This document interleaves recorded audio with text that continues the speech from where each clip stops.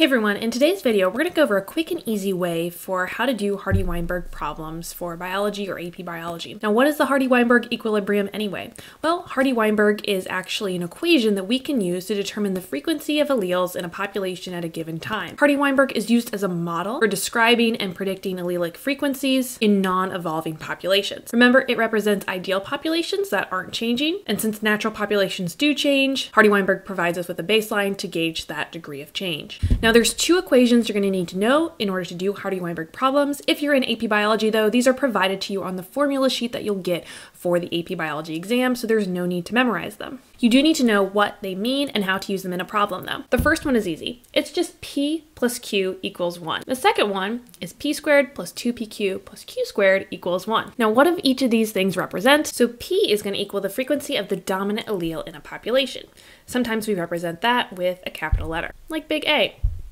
Next up, Q is going to represent the frequency of the recessive allele in a population. So for example, little a. P squared is the frequency of homozygous dominant genotypes in the population. So for example, big A, big A. 2PQ is going to be the frequency of the heterozygous genotype in the population, so big A, little a. And then you guessed it, Q squared is going to represent the frequency of the homozygous recessive genotype in a population. So if you're confused already, just make sure you come back to this key so you know which letters are going to represent which genotypes and allelic frequencies. The best way to do Hardy-Weinberg is to actually practice it and see it in a practice problem, so let's go ahead and get started. This practice problem comes first. In a population of humans, 16% or a frequency of 0.16 are not able to roll their tongue. We're going to deal with frequencies to do these calculations, so you want to convert percentages to frequencies or that decimal version of the percentage. In the population, 16% are not able to roll their tongue tongue, which means they are homozygous recessive for tongue rolling.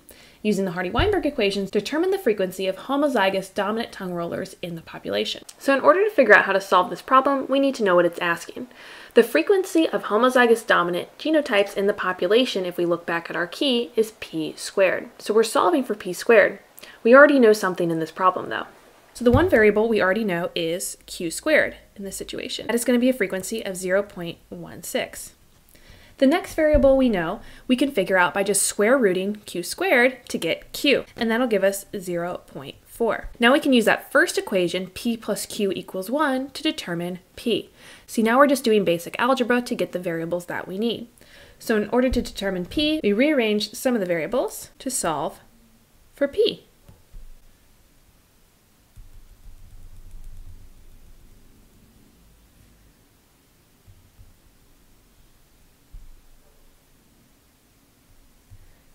And 0.6 squared is 0.36, and that is our value for p squared, or the frequency of homozygous dominant tongue rollers in the population. Let's look at one more easy practice for today. Let's say we have a population of rabbits. Some are brown and some are white. The brown allele is dominant, the white allele is recessive. So brown rabbits can have big B, big B, or big B, little b. White rabbits can only be little b, little b. Know that the frequency of the big B, big B genotype is 0.35. So let's try to figure out the frequency of heterozygous rabbits, the frequency of the big B allele and the frequency of the little b allele with this information. We know that the frequency of the big B, big B genotype is p squared. If p squared is 0.35, we can take the square root of that and get 0.59. From there, if we know p, we can easily solve for q. After we solve for q, and we're looking for the frequency of the heterozygous rabbits, all we need to do is get 2pq. So 2 times p times q. That's 2 times 0.59 times 0.41 would be about 0.48. The frequency of the big B allele we already found, that's 0.59. The frequency of the little b, allele, little b allele is 0.41. Now in AP biology, these problems can get a little bit more complex, but hopefully now you've gotten some good practice with Hardy-Weinberg. Thanks so much for watching, and make sure you let me know if there's any other Hardy-Weinberg questions that you have. See you later!